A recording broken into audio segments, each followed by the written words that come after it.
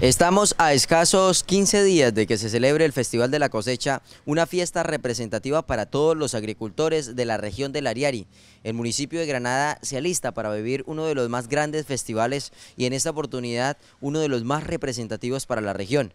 Este es el Parque de la Paz, el lugar donde se va a llevar a cabo dicho festival nacen muchas preguntas e inquietudes referente al estado del lugar para el desarrollo de este magno evento donde se espera la participación de cientos de personas. La pregunta es, si está en óptimas condiciones, no hay riesgo, cuenta con una infraestructura adecuada para el desenlace de este festival que se desarrolla en tres días, cuatro días prácticamente. Vamos a tratar de hacer un recorrido por el sitio y a mostrarles algunas de las falencias que presenta en temas de infraestructura el Parque de la Paz, el lugar que ha sido escogido para el desarrollo del Festival de la Cosecha del año 2017. Analizamos detalladamente cada uno de los inconvenientes, o más bien el estado de uno de los puentes del Parque de la Paz. Y nos encontramos con esto, mira, no hay barandas. Al finalizar el parque, en el extremo izquierdo, no hay barandas, lo que significa un verdadero peligro para un niño, para una persona adulta o eh, dado el caso, para cualquier persona que circule y que alguna otra persona le dé un empujón o se presente alguna caída. No hay una contención, no hay una baranda que normalice la circulación y por supuesto que le brinde seguridad al peatón. Anexo a eso también nos encontramos con que parte de la infraestructura de este puente está deteriorada, tanto las barandas como los que les dan el soporte al mismo puente.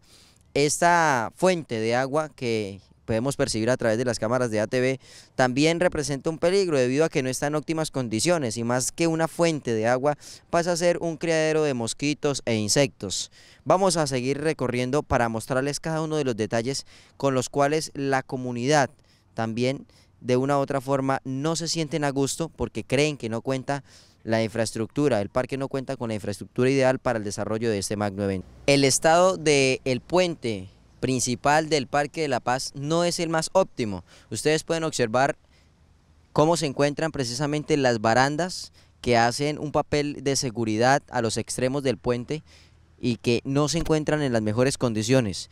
Anexo a eso también nos damos cuenta de la adecuación del lugar y el mantenimiento que se le ha hecho por mucho tiempo no ha sido el mejor. Son muchas las inconformidades que presenta la gente y por supuesto que nosotros hemos traído las cámaras hasta ese sitio con el fin de llevarle la información y que sean ustedes quienes evalúen este panorama. Entendemos de que son pocos días los que faltan para que se desarrolle este gran festival, el Festival de la Cosecha en el año 2017 y por supuesto este ha sido el sitio que se ha designado para el desarrollo de este magno evento.